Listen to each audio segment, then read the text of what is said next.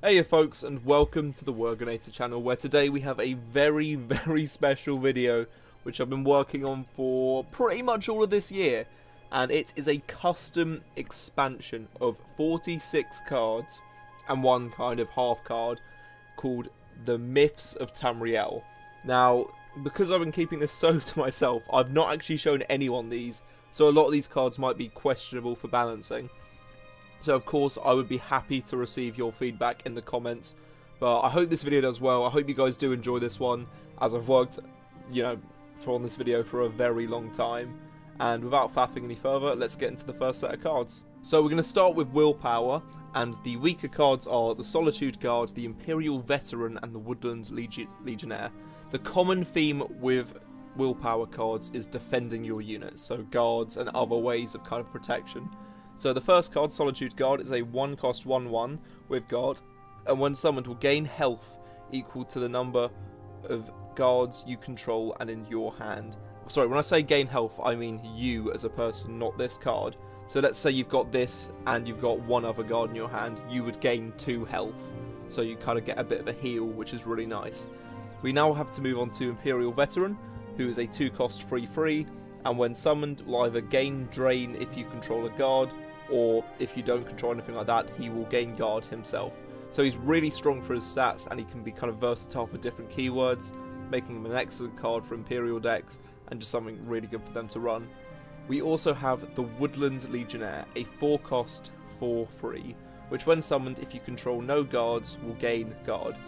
Also, if it's the only creature on your side of this lane that is placed in, it will also gain Regenerate. So it can gain up to two keywords, which is what can make it really strong, but it does require a kind of certain board to gain those keywords, which I think adds like an interesting level of play as well as keeping it somewhat balanced and kind of cool to use. Right, and now to move on to the stronger cards in Willpower. There's six cards for each attribute, by the way. We have the Gate Guardian, the Imperial Guard Captain, and Dragonhorn. So the Gate Guardian is a free cost, free 4 guard, and your opponent can't target other willpower cards with actions except this one. So this is a bit like Tavyar, but the issue is it only works with willpower cards. And this does mean that if it's a double or triple attribute and it's got willpower as one of those options, it's kind of nice for you kind of covering them as well. So it's a really nice card to have in your kind of spell sword imperial decks and will definitely give you a lot of defense. We also have the Imperial Guard Captain, a 4 cost 4 6 with guard, and Imperial Guard captains must be destroyed before other guards can be attacked in this lane. So what this means is it's a guard of the guards, and your opponent has to go for this one first before they attack your Gate Guardians or your Lydias or whatever.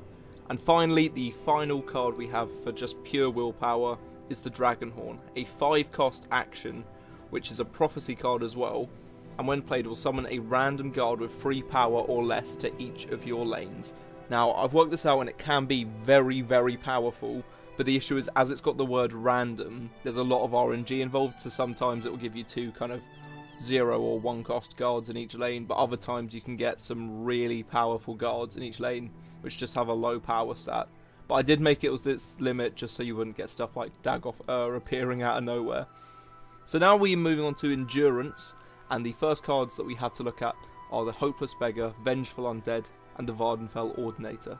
The first one is a zero, zero power, free health, one cost card, which when summoned will gain power equal to the number of silence cards. You're also going to see the theme with these endurance cards is always working around silence, so it makes quite a nice counter to willpower. As you know, the homeless beggar, if you silence a lot of cards that your opponent has, it starts to gain a lot of power and then gets really good stats for its cost. We also have Vengeful Undead, a two two cost free one with breakthrough, and when he's destroyed, he comes back like Umaril does, but he's also shackled. This is so instead of him being a strong card for you to have to deal with twice, he basically dies and then can be used for your betray cards or sacrifice cards, just so you can kind of have him as like just an easy sacrifice for that second use. And finally, we have Vvardenfell Ordinator, an 8 cost card which is 5 4 and guard, and every time you silence a creature, reduce this cost cut reduce this card's cost by one. So let's say you've got him in hand, and your you keep on silencing your opponent's units, it'll get cheaper and cheaper. Hence the reason there's such a big theme of silence. But if it's in your deck, it won't be getting this cost reduction. So you won't expect to draw it late game and have it as a zero cost 5-4 guard. It needs to be in your hand to start getting that reduction. Now moving on to the epics and legendaries of endurance, we have Shadow Scale, which is a 4 cost 1-8 with charge and is immune to lethal. And when this card damages a creature, silence it. So basically, this is the kind of card that you want to be hitting with your units which have ward or a massive kind of health, not health, attack bar, or just use your actions on, because it can really start to do a lot of damage to your field if you let it get off. And when I was making this, I was kind of considering is 8 too high, but then again, silencing a card isn't actually going to destroy, you know, the card most of the time unless it's incredibly weak. So I thought it, it kind of makes sense. Let, let, me know, let me know in the comments if you think this is a bit too much or not. We also have the Arcane Silencer, an 8 cost card, which is 3 power and 4 health. And when summoned can silence a creature, and at the end of each of your turns, you can destroy one silenced creature. So basically, it can summon you summon it on your turn, you silence a creature, and at the end of the turn, you can pretty much destroy that creature if you want to, or another silenced creature. And then your opponent gets a turn where they can kind of react, and unless you silence another creature, it might not have anything to target. So the final endurance card that we have is the 5 cost Grey March, which is ongoing, and at the end of each of your turns you can summon a Lesser Knight of Order to one lane of your choice, so it's a bit like uh, the Imperial City, and the Knight of Orders are just 1 1 1s which silence one creature in the lane. So as you can see, a lot of control here, but not really anything that's actually destroying units, hence the reason I don't think it's too powerful. Now moving on to agility, we have some weirder ones because I wasn't too sure what to do with agility. Most of them are involving wounded creatures though, just so you get the rough idea. The first one is the Bosmer Ambusher, a 2 cost 4-4 which is incredibly good stats, but when summoned if there are no wounded creatures in this lane it gets damaged down to being a 3 power and 2 health card, which is still decent stats, but because it's wounded it means if your opponent's playing an agility deck they can do stuff against it, or it actually could end up playing into your favour because you have a wounded card now. We have Roguish Duelist, a 3-2, which when summoned will battle a wounded creature. So that's meant to link into the themes of it being a bit of a scumbag, of a duelist who's just trying to take on easy fights, hence the reason it only will battle a wounded creature. And because of its stats, it's probably not even going to kill most of the time. So it's just something that you can use as a bit of cheap removal to get rid of something that's already wounded. And then finally we have the Skooma Supplier, this is one of the first cards I made so in the set, which is like back in January, so I haven't actually read it in a while. But it's the free cost 1-4, which can attack you, and when pilfers, it will reduce the cost of a random card in your hand by 2. I mean, I think it might actually be understated for that. I feel like maybe lower the health and buff it up its attack if it's going to reduce a card in your hand by 2. Although, because it's random, I think that kind of allows it to be a bit simpler. And the thing is, it can attack you, which adds a very weird level of play. So, onto the more expensive cards for agility. We have Infernal Curse, a 4 cost card, which will weaken an enemy creature by minus 1, minus 1, which seems a bit bad on itself, but it also will weaken all copies in your opponent's hand and deck to 1 power and 1 health. So, let's say, for instance, your opponents used Galyn the Shelterer to give them, like, three more Paarthurnaxes in deck. Your opponent summons their first Paarthurnax, and you then use this card on it. It would then reduce all of those Paarthurnaxes, which have got really massive stats, down to being 1 power and 1 health. And because it can't actually destroy them, it won't add any weird gangly level of play. So I feel like this could be a really interesting one to mess about with. We also have the Tamed Dragon, a 5 cost 4 4 which when summoned will deal 1 damage to a creature of your choice, and at the end of your turns it can damage an enemy creature until it's wounded. So that might sound a bit weird, but the idea of this is that it can basically just pop pop wards and just get your opponent into wounded creatures so you can start doing things with their units. So very much just something which is intriguing and kind of setting up plays. We then finally have the 8 cost Rot Blood Chieftain, a 1 power, 1 health card, which when summoned will fill this lane with random non-unique goblins from your deck.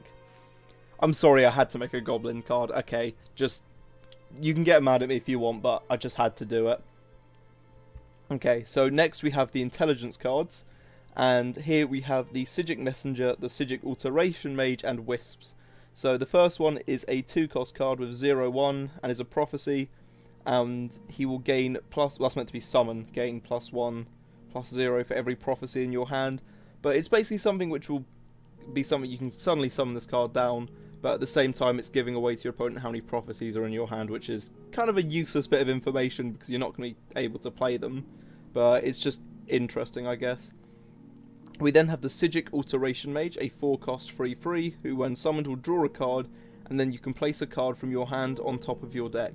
So this is good for mind games, basically, because it allows you to make your opponent think that you're going to put a prophecy on the top of your deck, or you just can, and then if they do break your rune next turn, well, they're going to have to deal with the consequences that you might have just loaded it up with a prophecy. And then finally we have Wisp, a free cost 1-1 prophecy, which when summoned will summon all copies of the card from your deck. So I like the idea of this because it's just a bit of board swarm, and it's meant to be a weak ass card, so it's just really nice to kind of see it, plop it down, and then get three units which are all 1-1s. I mean, I guess it could be a 4 cost because if you do like Galyn tactics, it could get a bit crazy, but at the same time, I don't think it's the best of cards, unless you set up for synergies with it. Right, onto the more expensive cards. We have Reactive Rune, a free cost support, which is the next time you take damage, you draw a card, and if it's a prophecy, you can play it for free. So basically, what Reactive Rune is, is it's an additional rune, but as a support card. And this card is destroyed when you use this effect. It's not like every time you take damage you'll draw cards, no, it's just one time, and then when you take damage, it will be destroyed. And I feel like this is just a really interesting play, especially for intelligence and in those prophecy decks, as it allows you to get more than five prophecies off a game, or six if you regenerate a rune or whatever. Just getting that extra one could be really interesting. We also have Heroic Ashwalker, a 5 cost 3-4, who when summoned can play a prophecy card from your discard pile, but it's destroyed... Wait, but when it's destroyed, banish it. So if it's an action, you can basically just get a Piercing Javelin back to get it, which is very strong, to be honest or you could just go with something which will, you know, just get banished completely afterwards. Maybe that card should be a bit more expensive, but it's an interesting one nonetheless.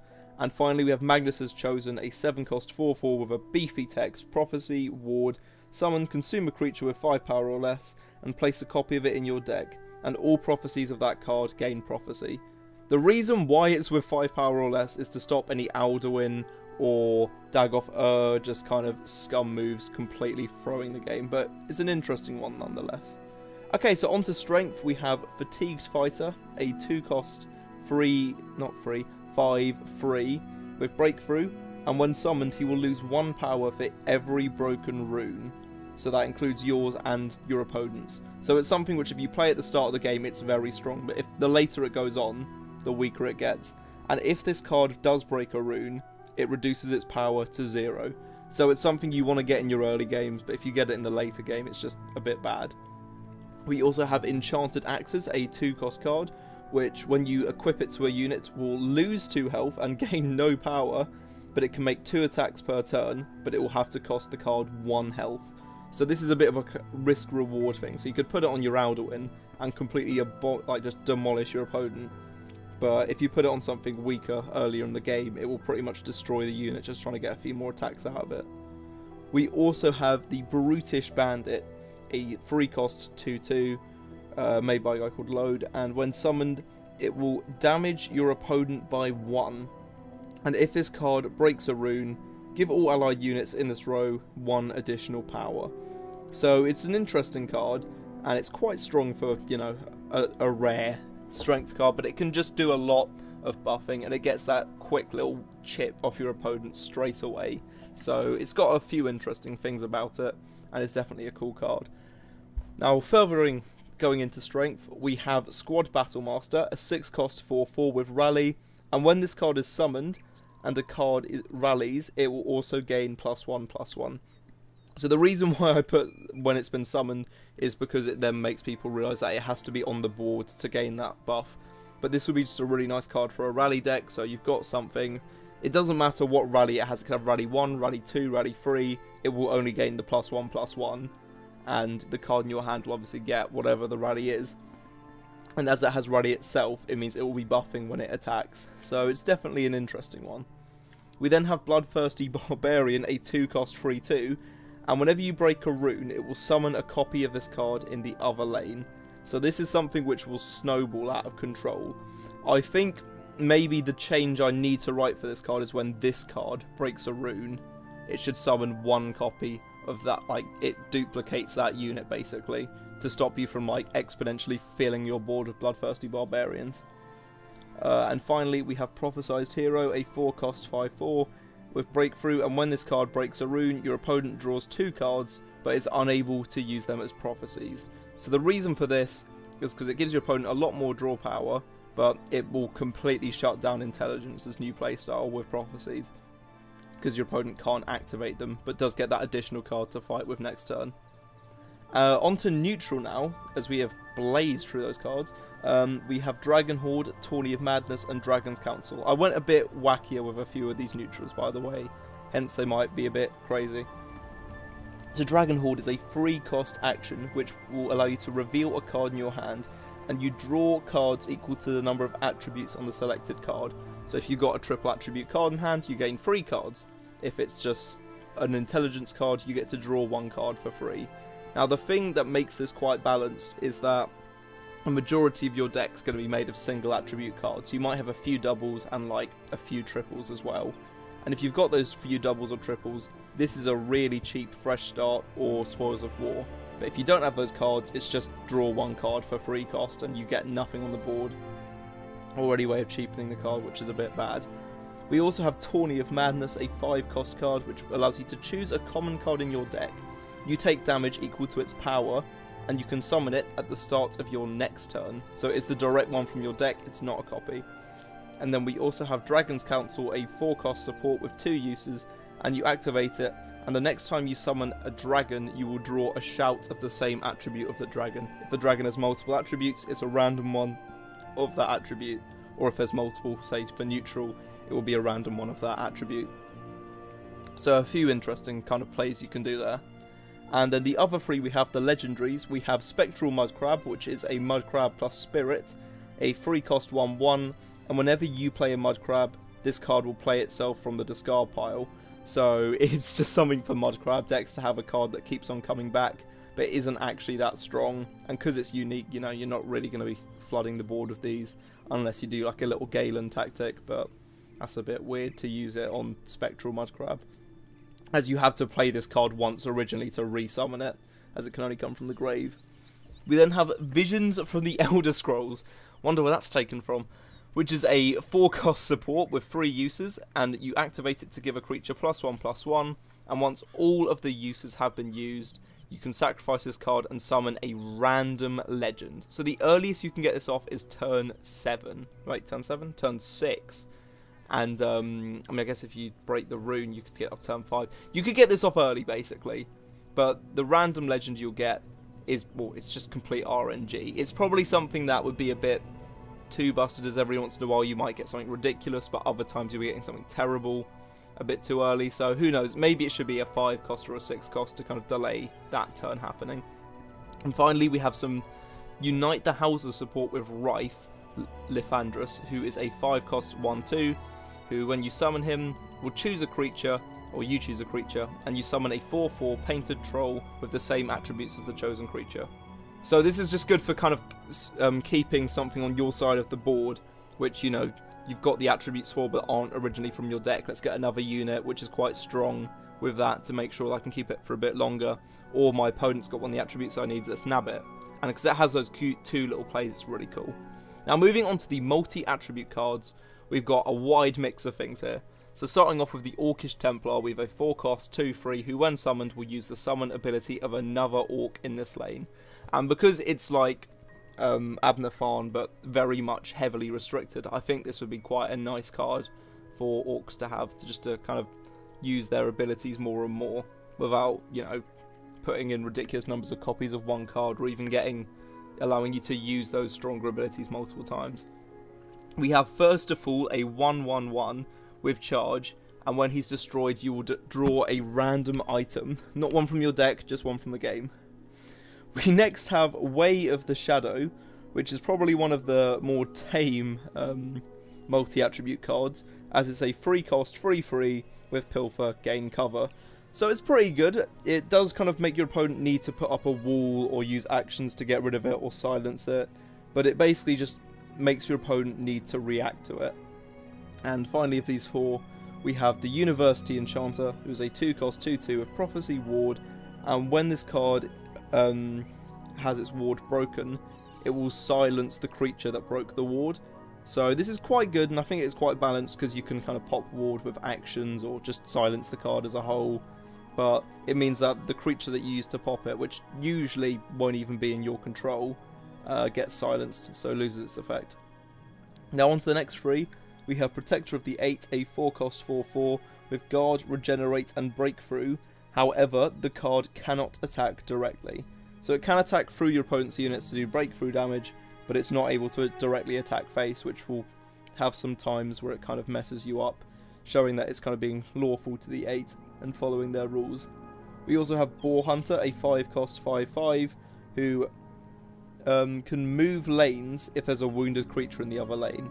So the idea of this is that he will chase it down, he can chase down wounded creatures and move to the other lane, but only on the condition that he knows there's a wounded creature. So I feel like for a lore purpose and for even a balance purpose, it's quite fair. So it kind of means it's not too ridiculous and it fits in with the movement themes that Archer decks should usually have anyway. We also have Hist Guardian, which is a very wacky card as a 2 cost 0 2, which is permanently shackled, and when summoned, you put it in your opponent's lane. So it's like a disloyal card from Gwent. And at the end of each turn, it will weaken all creatures um, that are owned by the person you've given the card to in that lane by minus one, minus one. So pretty much you put it down in your opponent's shadow lane, and at the end, was the end, yeah, at the end of each turn, all the creatures in your opponent's shadow lane will lose minus one, minus one. But as your opponent can just like destroy this if they've got sacrifice cards or fill up their lane and destroy it, I thought it's not too strong, so I'll give it a kind of weak effect. Then moving on to the final three cards of the set, we have the Psijic Mystic, a free cost 1-1, and whenever you draw a prophecy from a broken rune, you can summon this card to the Shadow Lane from your deck or your graveyard. So this is just a really nice card for whenever, you know, a rune breaks and you actually get a prophecy because you get an additional card on the board. Even though it's quite weak, it's just something quite nice and I think mage decks would definitely appreciate it. We also have Tribunal Champion, a 6 cost 4 4, which fits in with the prophecy, not the prophecy, sorry, with the wounded side of um, this set, and it will give all your wounded creatures in this lane a ward. So when summoned, it can give up to three cards wards, but it very much is situational on what the or, or on what's been happening and what your opponent's been up to, and it can lead to some very powerful plays. Hence why it's a unique legendary for six costs with lower stats but it can also sometimes just be giving one card a ward, making it just a ward crafter. So sometimes it's not that great, but other times it can play really well. And finally, we have the Royal Vanguard, a 7 cost 5 4, who will gain a random keyword for each of your opponent's broken rule, runes, but with a maximum of 3. So if it's 4 or 5 runes, he'll only gain 3 keywords still, just to kind of have balance, which I think will be quite an interesting feature. But that's the entire set. I hope you guys have enjoyed it. I've put an Imgur link to the whole set if you just want to look at each of the cards in more detail. And I'm more than open to feedback here because, I mean, I've been working on this solo and have enjoyed 90% of it. I do apologise for a lot of the card artworks that I couldn't find the original creators who made them. I tried to um, give, give them credit where I found it, or if it was from the actual game itself, I didn't look for it. But yeah, no, I tried my best. But I hope you guys have enjoyed this one, and if you did, obviously, like, subscribe, and especially share, because this took a while.